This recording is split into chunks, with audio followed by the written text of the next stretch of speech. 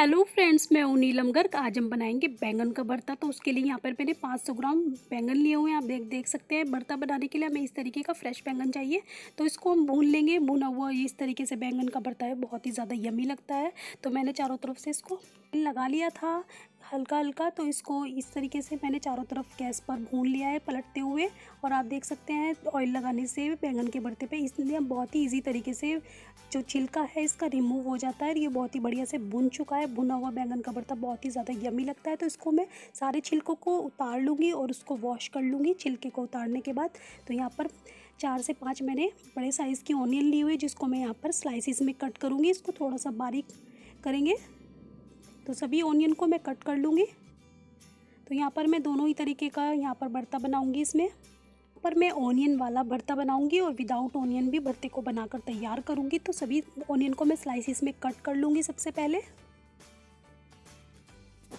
तो सभी ओनियन को मैंने स्लाइसिस में कट कर लिया है और यहाँ पर मैंने इसको बनाने के लिए 400 ग्राम टमाटर लिए हुए थे। टमाटर को भी मैंने मीडियम साइज़ के कट कर लिया है। तो टमाटर को मैंने अच्छे से वॉश कर रखा था और देख सकते हैं आप, मैंने बैंगन को भी छिलका उतारने के बाद साफ़ पानी से अच्छे से वॉश कर लिया है और मैं इसकी इतनी पतली पतली लेयर इस तरीके से निकालूँगी जिससे कि अगर हमारा बैंगन ख़राब भी होगा तो मैं बहुत ही ईजी तरीके से वो दिख जाएगा। तो हम उसको निकाल सकते हैं, फेंक सकते हैं उसको तो इसी तरीके से आप भी अपने बैंगन के भरते को एक बार चेक करने के बाद ही भरते को बनाए। वैसे तो मैंने यहाँ पर फ्रेश बैंगन यूज़ किए थे, बट फिर भी हम इसको चेक करने के बाद ही बनाएँगे। तो इतनी पतली पतली लेयर में इसको भूनने के बाद और वॉश करने के बाद निकालूँगी नाइफ़ की हेल्प से। तो हमें जो भी कुछ डाउट होगा तो वो क्लियर हो जाएगा हमारा। तो सारे बैंगन को मैं हमेशा ही इस तरीके से बॉईल इसको भूनने के बाद मैं हमेशा ही ऐसे लेयर इसकी निकालती हूँ पतली पतली और आप देख सकते हैं, बैंगन हमारा बिल्कुल फ्रेश निकला है, बिल्कुल क्लियर है। तो सेकंड को भी मैं सेम तरीके से ही पतला पतला इसकी लेयर निकालूँगी और इसको चेक करती जाऊँगी।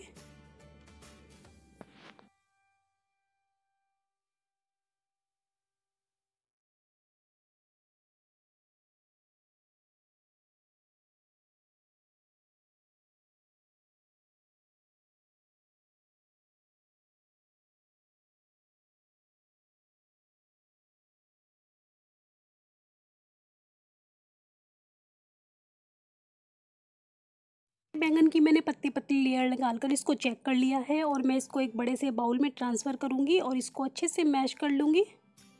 तो ये बिल्कुल परफेक्ट निकला है, आप देख सकते हैं। तो इसको एक बड़े से बाउल में हम कर लेंगे ट्रांसफ़र और इसको बहुत ही अच्छे से मैश कर लेंगे, जिससे कि बर्ता बहुत ही ज़्यादा टेस्टी बनेगा।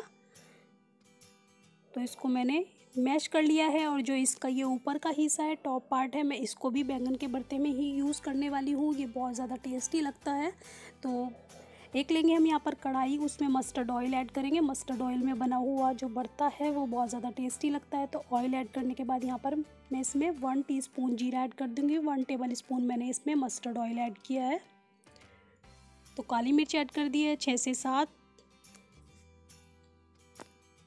और जीरे को हम होने देंगे।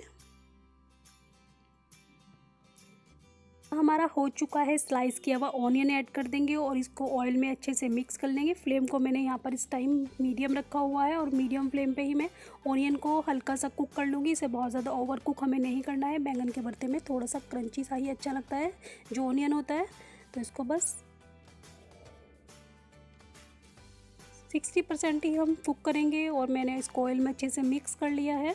देख सकते हैं ऑनियन हमारा हो चुका है भरते के लिए। इस तरीके का हमें इसमें ऑनियन चाहिए। वन टीस्पून मैंने हल्दी ऐड कर दिया है यहाँ पर इसमें। हाफ़ टी स्पून से थोड़ी सी ज़्यादा लाल मिर्च ऐड कर दिया वन टेबल स्पून धनिया पाउडर ऐड कर दिया है। थोड़ा सा गरम मसाला, कश्मीरी लाल मिर्च हाफ़ टी स्पून ऐड कर दिए और यहाँ पर मैं इसमें ऐड करूँगी तंदूरी मसाला। भरते को मैं इसमें तंदूरी मसाला ऐड करने के बाद बनाऊँगी। बहुत ज़्यादा टेस्टी लगेगा, एकदम बहुत ही बढ़िया तंदूरी फ्लेवर आएगा इसके अंदर। और बस मसालों को मैं भून लूँगी फ्लेम को मीडियम रखा हुआ है। मसालों को थोड़ा सा हम ज़्यादा ही भूनेंगे इसमें।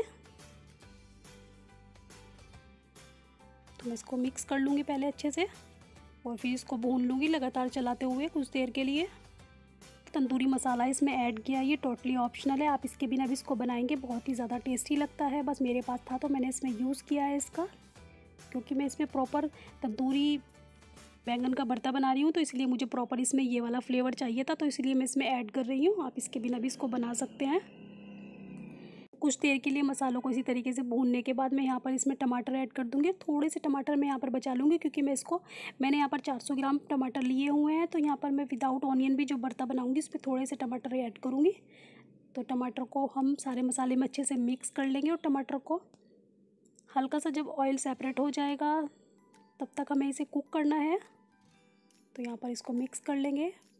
तंदूरी भरता जो है वो बहुत ही ज़्यादा टेस्टी लगता है। इसमें बहुत ही अच्छा फ्लेवर आता है स्मोकी, क्योंकि हमने इसको इस तरीके से भून कर तैयार किया है भरते को, बैंगन को तो इसमें बहुत ही बढ़िया स्मोकी सा फ्लेवर आता है, वो बहुत ज़्यादा टेस्टी लगता है। तो यहाँ पर मैंने टमाटर को हल्का सा सॉफ्ट करने के लिए इसको कवर कर दिया है। और इस साइड में यहाँ पर तैयार करूँगी विदाउट ऑनियन बैंगन का भरता तो मैंने एक पैन ले लिया है यहाँ पर, उसको मैंने हल्का सा मीडियम फ्लेम पर ही कुक होने के लिए छोड़ दिया है। तो उसको मैंने उस साइड गैस पर ट्रांसफ़र कर दिया है और यहाँ पर मैंने इसमें half tablespoon mustard oil add किया है। इसको मैं विदाउट ऑनियन बनाऊँगी और इसमें हाफ़ टी स्पून ही जीरा पाउडर ऐड करूँ, जीरा ऐड करूँगी, सॉरी। और इसमें चार से पाँच मैंने काली मिर्च ऐड कर दिया है, वन पिंच हींग ऐड कर दिया है हाफ़ टी स्पून लाल मिर्च पाउडर ऐड कर दिया है, हाफ़ टी स्पून लाल मिर्च ऐड कर दिया है, हाफ़ टी स्पून हल्दी पाउडर ऐड किया है, वन टेबल स्पून धनिया पाउडर इसमें ऐड किया और सभी मसालों को अच्छे से मिक्स करने के बाद मैं इसको भून लूँगी। मसाले को थोड़ा सा अच्छा सही भूनेंगे और यहाँ पर मैंने इसमें भी तंदारू, तंदूरी मसाला इसमें ऐड किया है। बहुत ही बढ़िया फ्लेवर आएगा इससे इसका। और इसमें टमाटो ऐड कर देंगे क्योंकि मसाला भून चुका है, ये थोड़ा सा क्वान्टिटी इसकी कम है। तो इसको मसाले में टमाटो को अच्छे से मिक्स कर लेंगे।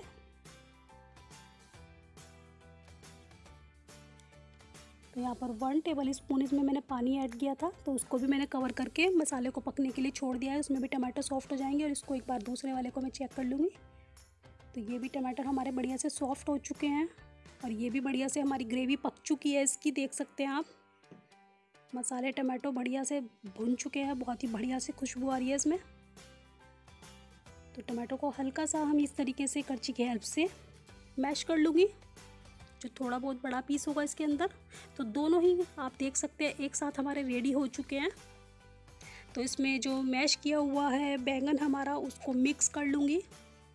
तो यहाँ पर ये वाली क्वांटिटी थोड़ी कम बनाऊँगी और इसमें नमक ऐड कर दूँगी। हाफ़ टी स्पून से भी थोड़ा सा कमी नमक ऐड करेंगे, क्योंकि इसकी क्वांटिटी बहुत कम है। भरते की। और इसमें वन टीस्पून अमचूर पाउडर ऐड करेंगे। तो बर्ते में थोड़ी सी जो खटास होती है अमचूर पाउडर की, वो बहुत ज़्यादा यमी लगती है।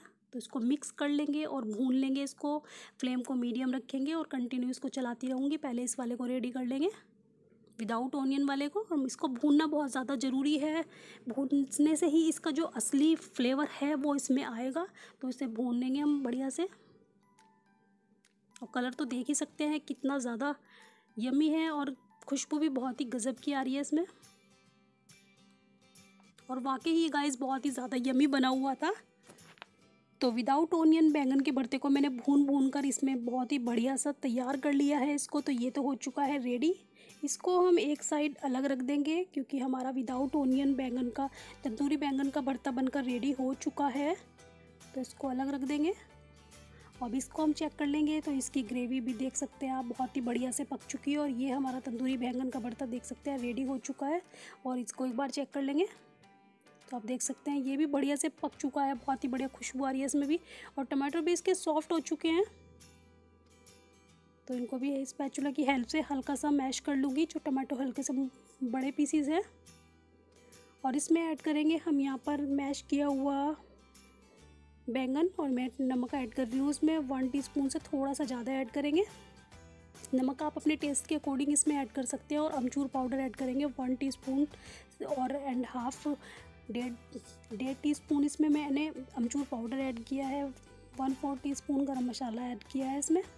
और जितना भी मैश किया हुआ मेरा बैंगन था, उसको मैं इसमें ऐड कर दूँगी और इसको बहुत ही बढ़िया से भूनना है। मिक्स कर लेंगे सबसे पहले इसको और फ्लेम को मीडियम रखेंगे और इसको लगातार चलाते हुए भूनूँगी।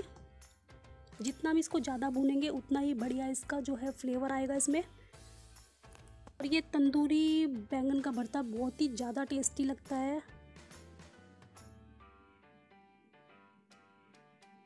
तो इसको कंटिन्यू में चलाते हुए भूनती जाऊँगी।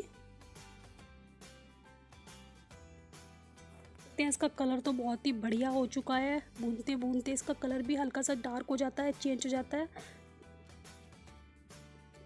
तो बस बैंगन का भरता ये भी हमारा भुन भुन कर रेडी हो चुका है।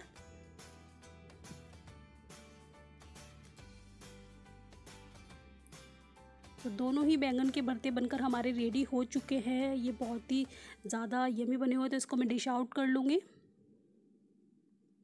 तो आप देख सकते हैं गाइस कितना ज़्यादा टम्पटिंग है ये। और बहुत ही चटपटा सा बना हुआ है ये। तो दोनों ही बैंगन के भरते को मैंने यहाँ पर डिश आउट कर लिया है।